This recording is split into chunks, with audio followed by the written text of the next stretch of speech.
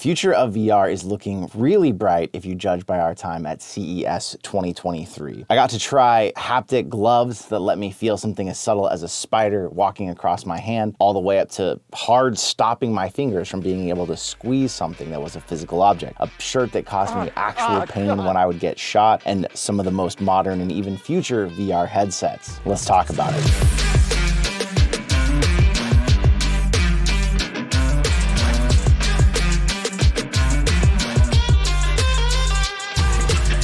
So I gotta say a huge thank you to Aubika. They sent our team to CES actually so we could meet them, see what they've got coming up and just to hang out, have some fun there. Probably one of the things that was the most exciting to me to get to try because I've seen them before and I've always wanted to try a set, HaptX Gloves. And that's a brand name, not just Haptic Gloves. HaptX had their gloves there that your hands fit into. They have an exoskeleton over your fingers, providing some actual resistance when you go to pick up a physical object. So if you were to pick up a rock in your hand when you try to squeeze, those exoskeleton fingers actually stop you from being able to squeeze, which simulates the feeling of having something in your hand. But also, they have haptics along your fingertips so that if you were to put your hand under a running faucet, you would feel that water tickling your hand. You could feel this little fox in your hand that you were holding, trotting around. Oh no! Just absolutely mind blowing for me as someone who's been in VR forever and you always are just used to your hand going through the table or hand going through an object. Oh. So you even feel wind in this. The first time I touched the sunflowers in that demo and felt them touch back, it was mind blowing. Got me more excited than I've been about anything new for VR in quite a while. Oh wow! Oh wow! Oh, wow. Jump over to the OWO booth where they've got the shirt that has a TENS unit basically built into it. There's a full video, so I'll leave a link up here in case you really want to learn more about that. But basically, I had this thing set to 40 out of 80 on the electricity it was using to simulate when I got shot or stabbed. Oh, God. Ugh. It, even at 40, was painful. You could actually get hurt by this shirt. What's the max level? Is it 50? 80. 80? 80. Oh, God. It goes to 80? Yeah. Now, for those of you walking into this fresh and you're like, oh, I've never heard of CES or I don't really know what it's like, Consumer Electronics Show happens in Vegas each year. And if you're like, well, where in Vegas? That's a great question because we couldn't freaking figure it out. It doesn't just happen at the Las Vegas Convention Center. It's so big that it's spread out between there, hotels in the city, other locations.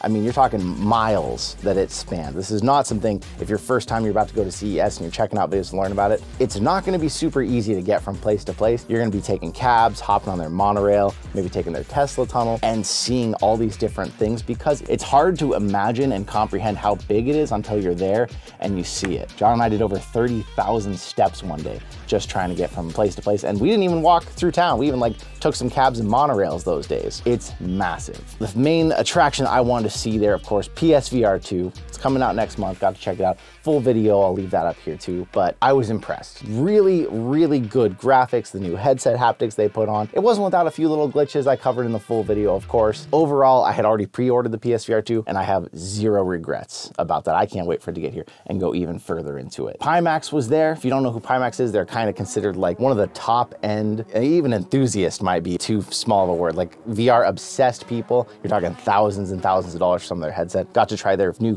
Headset that they said had no screen door effect, some of the best graphics. Fortunately, the PC they had it paired to was a little glitchy. They had to restart a couple times. Half-Life Alyx, textures kept dropping out on us. Should I just reload myself? The textures are missing. But as far as the actual screen graphical resolution, it was good. I could still find the screen door effect if I really looked for it, but probably the clearest display I've ever seen in a VR headset. It's definitely, it's very slight. You have to look for it. But on a white screen, you can see it if you really look. Around the edges of the lenses, you get a tiny bit of distortion and darkening. And there is a slight bit of Mura. As you turn your head toward a sky scene, you'd see it. But in normal gameplay, you wouldn't really notice it. Cool to see that we're advancing and that hopefully soon screen door effect won't even be a term anyone will know what it is anymore. Panasonic, Shiftall, their MeganeX, whoever's made the headset, they had it there on demo. It's a Steam VR headset they're advertising is gonna have some of the most high resolution screens ever. It's gonna be super lightweight. I only got to try one of them that they had. It was just set to pass through to show you the quality of the pass through. Probably the clearest color pass through I've ever seen on a headset. That said, it was a smaller square. It wasn't the full immersive view of everything. It was a smaller square out in front of me and it was running at like four frames a second. The experience was so rough.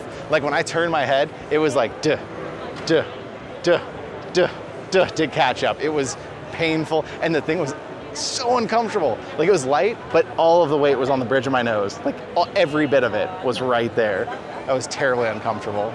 Interesting, but horrible. CES, there's so much going on. There's so much Wi-Fi, Bluetooth interference, and not only that, but all these companies had to show up and set up their tech that a lot of times you get a demo and it's like, oh, I hope this isn't the final product yet. I hope something better is gonna come out in the end because that was a rough experience. But it was cool to see that screen. The resolution was so good that it was almost like you were just looking through glasses, seeing the real world. That impressed me, but the frame rate made me feel terrible. And it was one of the most uncomfortable things I tried at the entire convention on my face. It felt just terrible. Jump over to the Magic Leap 2 AR headset. I'd never gotten my eyes in a set of these before, and that was quite the experience. So unlike a Quest Pro, where you're seeing through cameras to see the world, it's more like Microsoft HoloLens. You're looking through actual clear screens, almost like sunglasses. And then it's mapping out your environment itself. It's projecting holograms from there. It was cool, but at a convention, there's tons of people, there's tons going on. You know, I was seeing people everywhere while I was trying to try this demo, but then they showed me there's this mode that you press and it darkens up the surroundings. So even though you're looking through, it's clear, it diffuses all the light from the people around you. So they just become like these dark shadows and your hologram suddenly becomes the center of your focus that you're working on. Yeah, it's really interesting. What happens is like right now I can see through it's like it's a pair of sunglasses, but if I hit the dimming button, all of a sudden everything except what I'm looking at goes almost dark. So I can still kind of see the people around me. If, the, if someone came up to me, I wouldn't bump into them because I can just barely see, but it's really dark. It like really makes you immersed in what you're looking at and forget the world around you where right now I can see everything perfectly.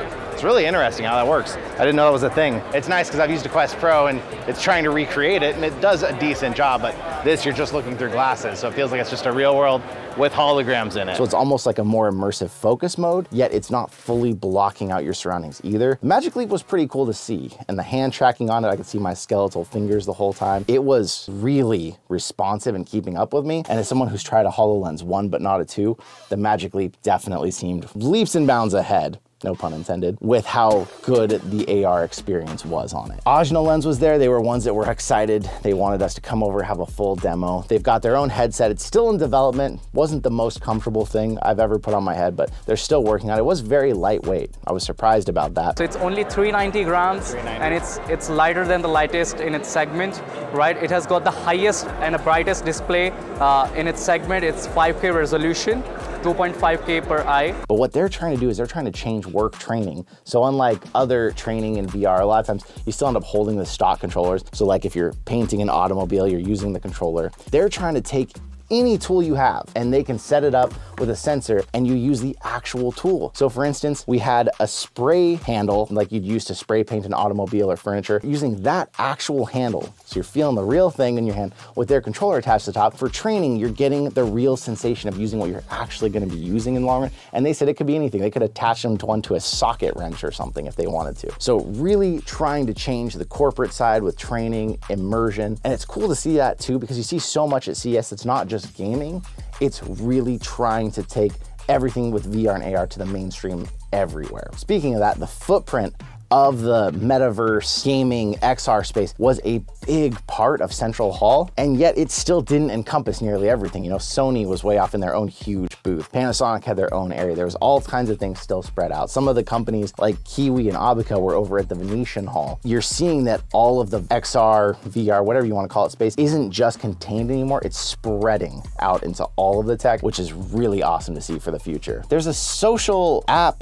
metaverse future. I, I had never heard of it. Somnium VR. They're trying to be really open source, let everyone in. It's not going to be its own ecosystem like other ones. I hadn't heard of it, but they were there. The CEO virtually, he was hanging out in the metaverse space basically with a bunch of people chatting and then he came over and we did a little interview face to face which was really cool to see because a lot of times these companies that believe in the metaverse or believe in their space aren't even using it to see that someone believed in it that much that they attended this convention through it that was cool and then we got to go try one of the most expensive VR headsets in existence and try it in a helicopter simulator, which was really cool. Your HOTAS was in front of you, but then you had your throttle, you had your pitch, all kinds of stuff. It was like flying a real helicopter, which was wild. Can I crash it on purpose? Yeah, if you want, it's fine. Let's let's let's see what happens. You also try landing it. Oh, I could. Oh, I think it's it might be too late for that.